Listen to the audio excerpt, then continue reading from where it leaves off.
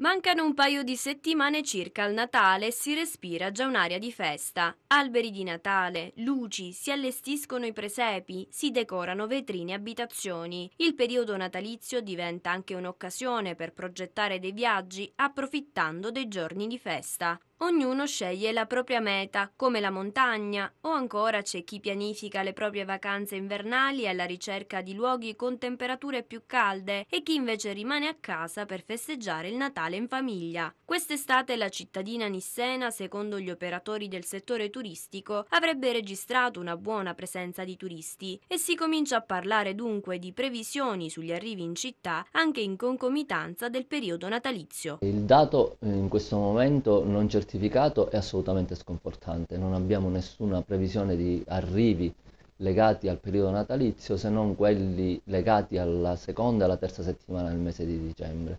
Eh, il dato riferisce di un arrivo comunque legato al settore del turismo commerciale, del turismo business, niente di più rispetto all'ultima, all'ultima settimana del mese di dicembre. Certamente l'assenza la di una proposta al riguardo da parte degli enti a ciò preposti, forse ancora non riesce a determinare e a trarre domanda di tipo diverso. Questo è il dato che riusciamo a registrare in questo momento.